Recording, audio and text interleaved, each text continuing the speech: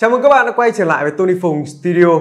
Realme đầu năm nay nó lạ lắm các bạn ạ. Đây là Realme 11 Pro Plus và các bạn nhìn thấy quả thiết kế của nó có gu không? Nhìn cứ phải gọi là đẹp cứ đừng hỏi. Và cái mặt lưng theo kiểu gọi là họa tiết da như này này là nó được đồng chế tác với cựu nhà thiết kế của Gucci để mang lại một thứ gì đấy cực kỳ sang trọng và đẳng cấp. Bên cạnh đó thì nó cũng có một cái cụm camera cực kỳ lớn với độ phân giải lên tới 200 megapixel đi kèm với một cái phần viền rất mỏng rồi sạc nhanh lên tới 100W. Những cái thông số vốn chỉ xuất hiện trên những mẫu flagship rất cao cấp mà thôi. Và bây giờ với nó chúng ta sẽ chỉ bỏ ra một cái số tiền chỉ ngang với những chiếc điện thoại phân khúc cận cao cấp đã được sở hữu những cái tính năng xịn sò này. Ok, không để các bạn đợi nữa bắt đầu kỹ hơn ngay sau intro nhé.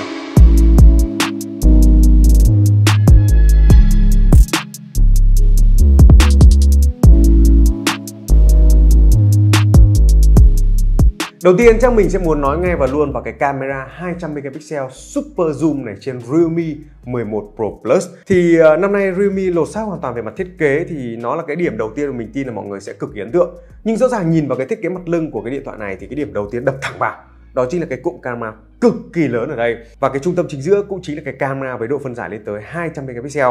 Tuy nhiên thì các bạn phải lưu ý nhá, 200 megapixel thì cũng có zip và có rát và đây là cái sản phẩm Realme đầu tiên được trang bị cái cảm biến 200 megapixel ISO Cell có cái mã đây là HP3 và nó cũng có luôn cả chống zoom quang học OS 40 mới nhất của nhà Samsung. Cảm biến này thì cho phép zoom lossless 2x và 4x, tức là zoom nhưng mà vẫn không làm giảm đi chất lượng hình ảnh. Thì các bạn cứ hiểu đơn giản là nó lên tới 200 megapixel nên kể cả có zoom từ cái độ phân giải này, nó vẫn mang lại một chi tiết cực kỳ tốt ở cái mức 2x và 4x luôn nên anh em yên tâm nhá.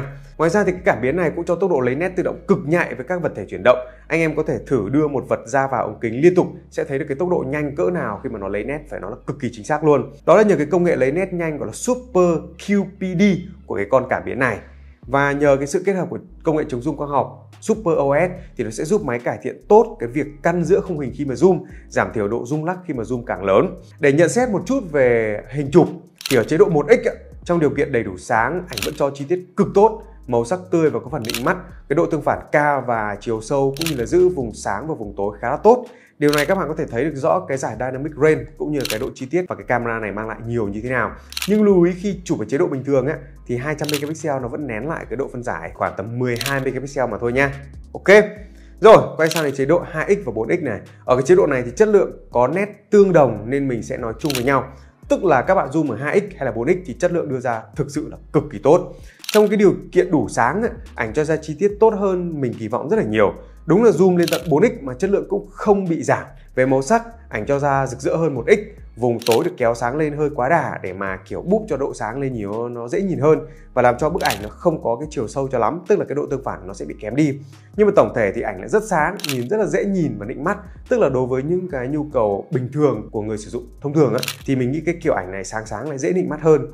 Còn trong cái điều kiện thiếu sáng á, thì chi tiết lúc này ở mức khá nó không hề bị quá noise các bạn nhé và trong một số trường hợp, ảnh sẽ được kéo sáng lên khá nhiều và nó sẽ dễ làm mờ chi tiết ở cái vùng sáng đi. Nhưng mà tổng thể nhìn vẫn khá là ưng và khá là nịnh mắt trong một cái điện thoại tầm cận cao cấp thì cái mức camera gọi là zoom lossless ở mức 4x như thế này là thực sự khá là ok rồi.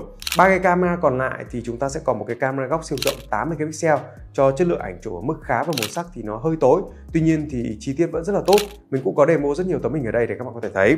Còn quay sang cái camera macro 2 megapixel thì nó cũng chỉ để mà chụp vui vẻ thôi quay sang đến cái camera selfie thì nó có cái độ phân giải lên tới 32 megapixel và cho chất lượng ảnh rất là ổn. Camera selfie của Realme thì chưa bao giờ là một người dùng thất vọng cả các bạn ạ. Cho dù được chụp mặt đàn ông con trai anh em chúng ta, hay cho dù được chụp các chị em, nhìn lúc nào cũng cứ phải gọi là lung linh luôn.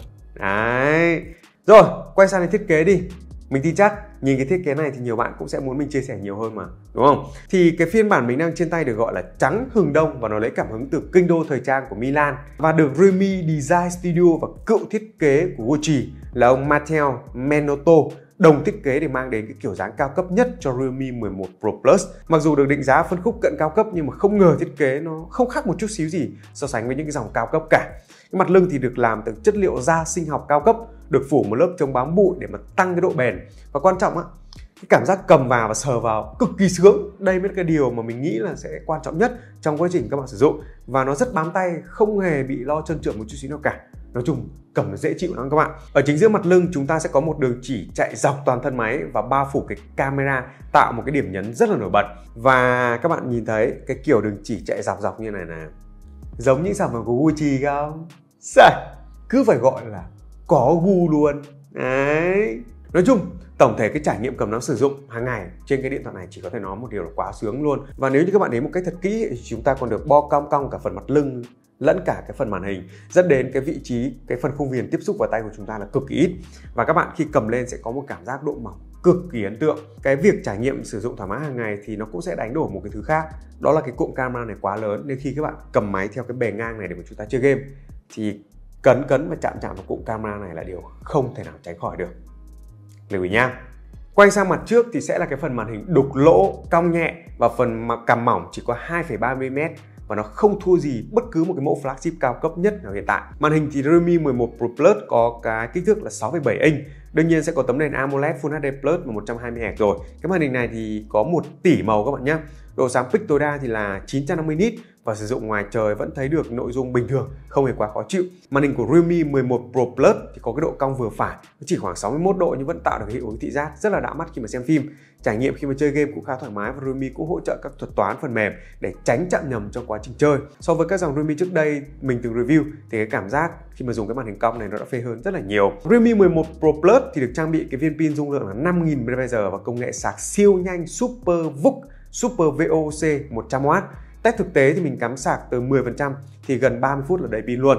Năm nay thì Realme còn trang bị thêm một con chip quản lý năng lượng Super VOC-S giúp giảm nhiệt độ khi sạc và tăng tuổi thọ pin lên đến 1.600 chu kỳ sạc, tức là nó khoảng gần 4 năm thì tình trạng pin vẫn còn khoảng hơn 80%. Điều này đồng nghĩa là cho dù nó sạc rất nhanh nhưng nhờ những cái thuật toán quản lý năng lượng và những cái yếu tố liên quan đến tố phần cứng và phần mềm của Rumi, thế nên độ bền của pin là cực kỳ tốt và các bạn sẽ không bao giờ phải lo vấn đề chai pin. Chỉ có ông ai đó mới sợ chai pin khi mà sạc nhanh thôi. Chứ còn mấy cái Rumi thì xin lỗi chúng tôi không bao giờ phải xoắn anh em ạ. Kiểu kiểu vậy. Và thậm chí kết hợp với cả cái củ sạc có công nghệ GAN để mà tu nhiệt lượng tỏa ra giúp cho cái củ sạc này mát mẻ hơn và nó an toàn hơn rất nhiều trong quá trình các bạn sử dụng. Thời lượng pin sử dụng trung bình hỗn hợp thì cũng đủ hơn một ngày. Ờ, on screen thì nó sẽ phụ thuộc vào nhu cầu của anh em. 7 tiếng cho đến 9 tiếng là rất dễ đạt được trên cái điện thoại này. Quay sang đến hiệu năng đi. Mình tin nhiều bạn cũng sẽ rất là quan tâm. Bởi vì nghe con chip về mặt thông số thì nó là Dimensity 7050 5G nó hơi lạ, đúng không? Thì ờ, để nói một chút xíu ạ đây chính là con Dimensity 1080 nhưng được tối ưu một cách tốt hơn và nó mới mẻ hơn rất nhiều. Dựa trên tiến trình 6 nanomet, và đây là một trong những con chip cho hiệu năng rất ổn định, mà quan trọng là nó tiết kiệm năng lượng, cũng như các bạn sử dụng thì gần như không bao giờ lo cái con máy nó bị nóng lên, bởi vì con chip này thực sự là nó quá tốt về cái yếu tố quản lý nhiệt độ luôn.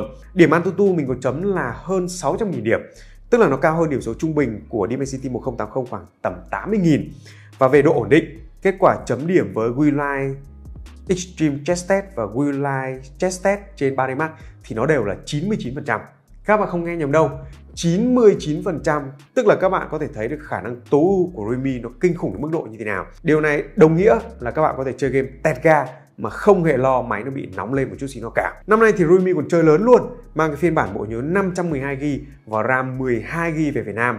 Tha hồ lưu trữ và đa nhiệm phải gọi là cực kỳ thoải mái.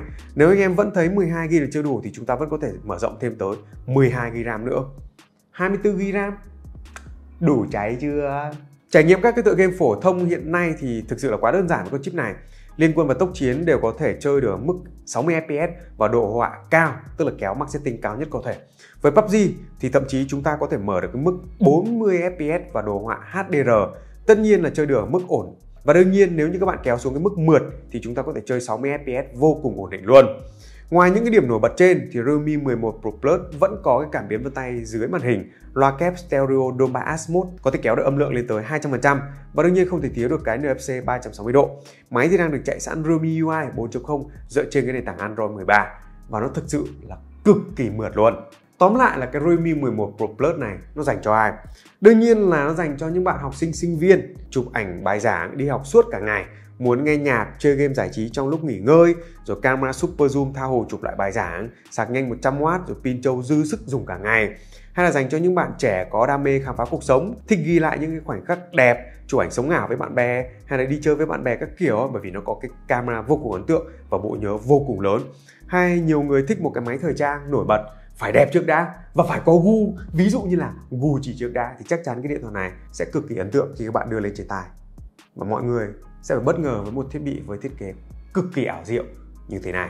Và có một tin vui là chiếc điện thoại này vào ngày 31 tháng 7 tới đây sẽ về Việt Nam chính thức và hôm đó thì chúng ta mới biết được mức giá chính thức của nó là bao nhiêu. Mình chỉ biết là phân khúc cận cao cấp thôi nên là cũng không rõ. Anh em thử comment xuống phía bên dưới xem. Anh em nghĩ rằng chiếc điện thoại này với cấu hình như vậy và những trải nghiệm như thế này về mặt thiết kế camera Thì giá của nó bao nhiêu là hợp lý?